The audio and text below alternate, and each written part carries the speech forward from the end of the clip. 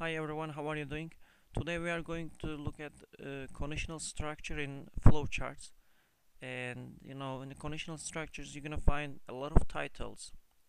Today we will talk about uh, the if conditions. You know if you do this I will give you that one if you not I won't give this to you.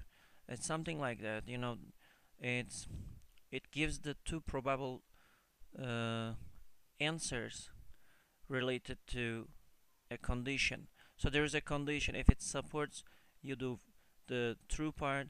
If it's not supporting, and you're gonna do the false part. It's something like that. Now let's let's look at the some exercises, and you will learn it good.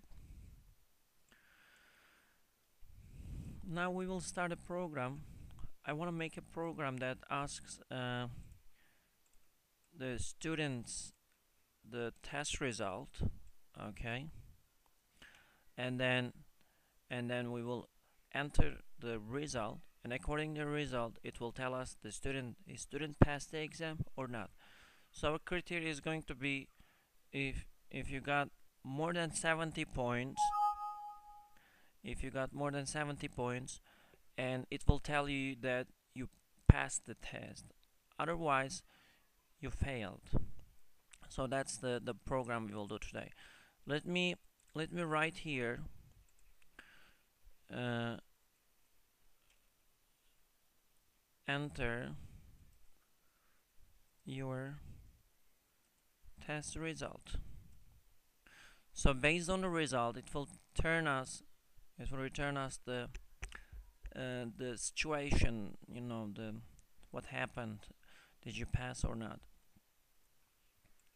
Okay. I will get the input to to inform the user to input the data.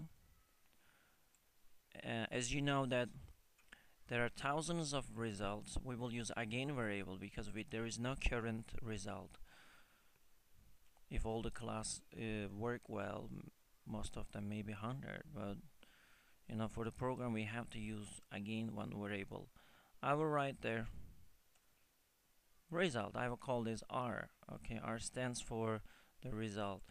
And and then I and then I will use if condition from here. By the way there will be more blocks that's why I will collect them on the top. So here we we flow the program with the arrows. And I will write the criteria here. What's my criteria? If R. So R was standing for the result. If R bigger bigger than 70 okay?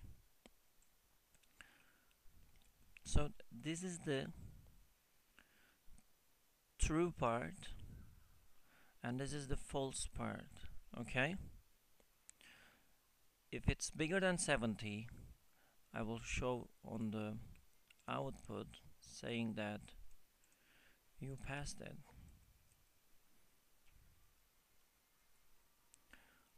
And I get another one. I connect to the else and right here failed that's simple. And then finally we will finish the program with the end. And let's see this quickly does it work or not. Enter your test result. Uh, okay we don't need that. I will write there uh, my test result is 78 and uh, I hit enter and he says pass. Wow look at this. I'm I passed the test. Check this out and let me try another one another one. I delete this part also. I run it. And then I will pretend like I failed the test. And I will hit enter. Now he, I failed. Look at this. Because I didn't study a lot. But I, I think I will do better in the second test. Okay. So we solved the problem like that but I would like to try this again I will write there 71 again. Okay. And he says you passed. But what about the student who takes the 70 let's see what's gonna happen. He says you failed. So it's wrong actually. There is a one detail we forgot to put.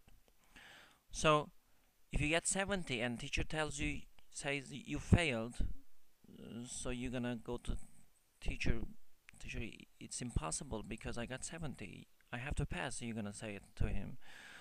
So here um, there is one one thing is missing in the criteria. We have to say like that uh, if your result is equal to 70 and bigger than 70 how can we show this in the in the in the condition? So we have to um, show there bigger than 70 and equal to 70 so guess what? How do we do it? We're gonna use one equal sign. Do you know where to put this?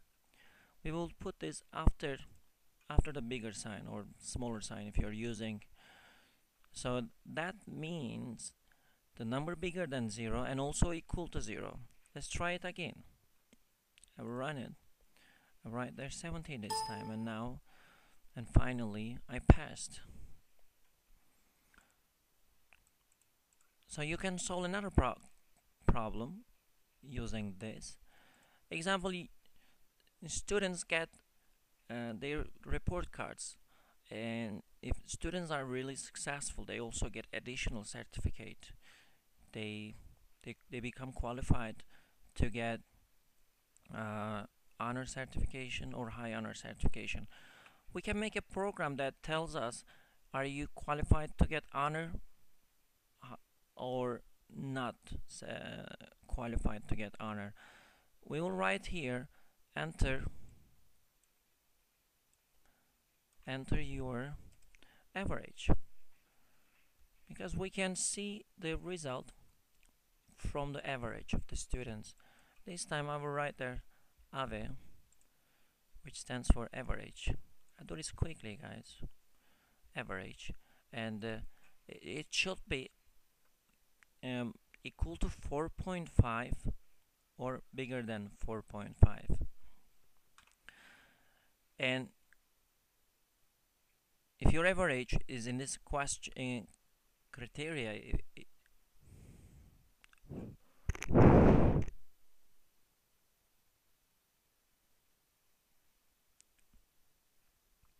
if your average supports this condition we will say that qualified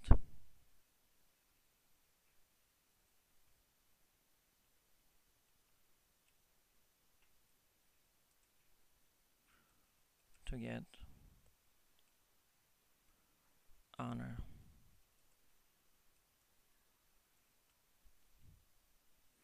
Okay can show them here.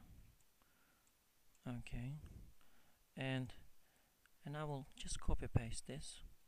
Not qualified on another occasion. That's it.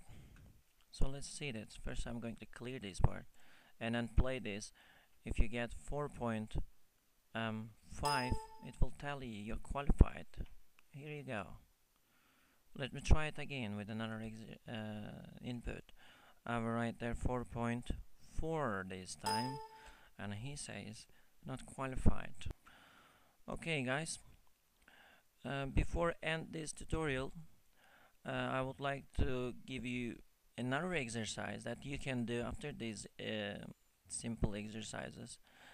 Uh, so in that homework you're gonna make a program which tells you is the number positive or negative. So one person is going to input a value and your program will return is that value a positive number or negative number. Okay guys thank you. See you in the next tutorial. Bye bye